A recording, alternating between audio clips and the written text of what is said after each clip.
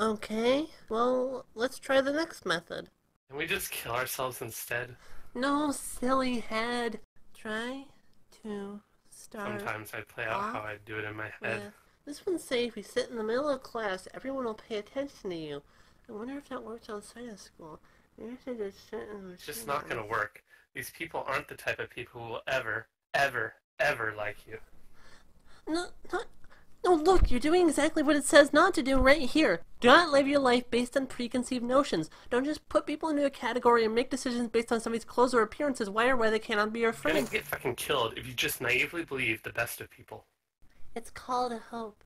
And me not giving up is what brought us together. There's a lack of options, idiot. You think that a conventionally attractive hoof model is gonna jump at the chance to be friends with your lame ass? Yes, I do, and I'll prove it. I'll be so nice to them that they'll have to like me. Wh- where are you going? Wait, why you just come back?